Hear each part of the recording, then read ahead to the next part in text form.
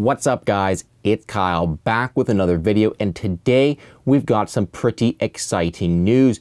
GoPro has made two announcements recently. Number one, they have officially committed to building a drone, building a drone, building a drone.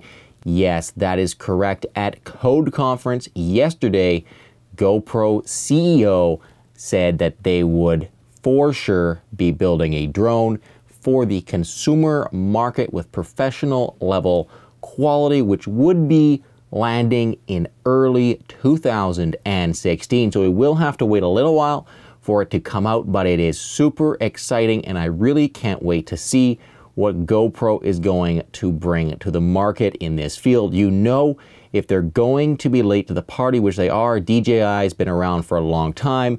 The 3DR Robotics Solo is has been out and has got a lot of hype, but you know if GoPro is going to show up late, they're going to want to make an impression and for somehow they're probably going to manage to do it whether it's by price, features or how the GoPro camera is integrated into the, the drone. It's going to be quite exciting to see what they do. I definitely think that their involvement with 3DR Robotics in developing the Solo probably had something to do with their learning experience in how they're going to develop their own because they're not really a drone company. If you look at companies like DJI or 3DR Robotics, what you notice is they kind of started off way more as a consumer uh, RC uh, company, building company, uh, building components for RC planes and um, uh, consumer drones, hobbyist drones, and then eventually got into building mainstream products. That won't be the case with GoPro. They're going to be bringing their own consumer level drone to the market in early 2016. So really, really excited to see what happens there. You guys should definitely watch the full interview from Code Conference where the CEO announces all of this and talks about why they think it's important to get their foot into that market. They talk about how the drone is one of the most amazing tools for a, individual to be able to capture themselves in their environment. The philosophy which GoPro is based on, being able to capture yourself doing your sport, not needing a big camera crew, being able to use what you've got at your disposal to capture your own moments and take control of uh, sharing your own moments with the rest of the world, thinking of themselves as a company designed around allowing people to share their moments with everyone else not so much the agenda of taking over the world, just the ability to have people share their moments with their friends.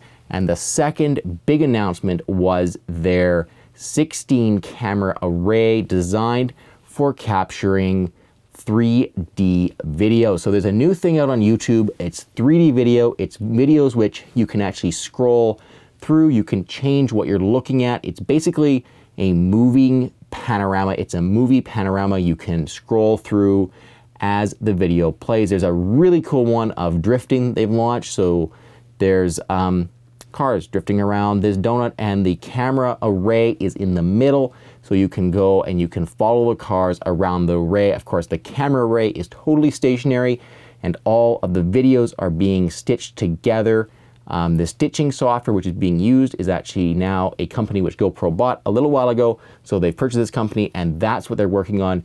These 16 camera arrays are coming later. There's apparently going to be a select few people which they are seated to to kind of use and get their hands on and start to create some really cool interactive content. The cool thing with this is it takes content instead of being a passive activity watching it, just you watching the video, it actually makes it totally interactive, meaning that the, per, the viewer has complete control over their experience. This is going in to be a VR kind of capturing. You think of things like the Oculus or um, HTC's new one or um, Samsung's new VR headsets. This is going to have a lot to do with that because if you want a good VR experience, you're going to need to be able to move your head, look around, and have the content move with you. Small, compact camera arrays, such as a 16 one, 16 camera array GoPro showing off, are going to be instrumental in making that kind of content work. Maybe what we'll see next is a 16 camera array hung under the body of a GoPro drone. Who knows? That would be pretty cool.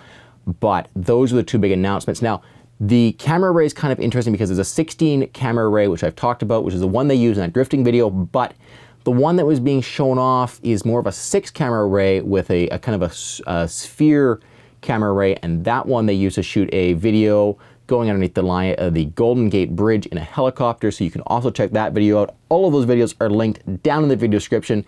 Definitely check them out. The announcement video when they say, yes, we are building a drone is hilarious and awesome, and um, if any of you guys out there are GoPro fans, you will be very disappointed with how quietly the crowd cheers.